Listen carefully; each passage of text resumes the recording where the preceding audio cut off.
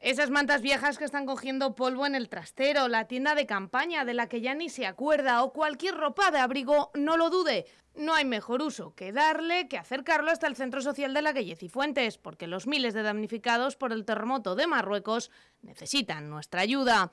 El Ayuntamiento de Guadalajara, a través de Baenche, concejala de Bienestar Social, no dudó en poner a disposición el espacio necesario para organizar una recogida. Eso sí, tengamos claro lo que más puede ayudar sobre todo tiendas de campaña, para que los niños tengan un techo, los mayores, los ancianos sobre todo, porque eh, se prevén lluvias y el frío en, eh, este tiempo ya es, es muy importante. Y los sacos de dormir, las mantas, ropa de abrigo, todo eso, pero sobre todo las tiendas de campaña, para obtener un techo, porque la gente se ha quedado sin techo. Entonces es súper importante. Desde la Asociación Esperanza en el Futuro están muy agradecidos con la respuesta que está teniendo la ciudad y la provincia y tienen la infraestructura lista para que llegue a donde más lo necesitan.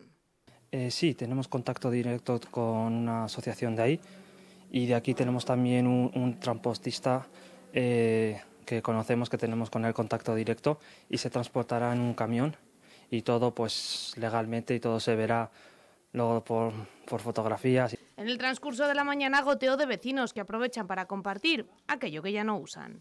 Vengo a echar una mano porque, bueno, en estos momentos hay que hacerlo, ¿no? Ya está, nada más. ¿Cómo se enteró?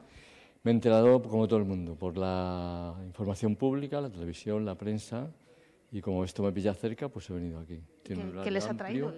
He traído ropa, ropa de invierno en general, ¿eh? que es lo que tenía así más a mano y ya está. Además de colaborar con Cruz Roja y esto, pues, pues eso he hecho. Desde la asociación están muy preocupados por el estado en el que han quedado pueblos enteros que escapan del foco informativo, hasta el punto que ayudarán de manera directa a la reconstrucción de un pueblo con mano de obra de Marruecos.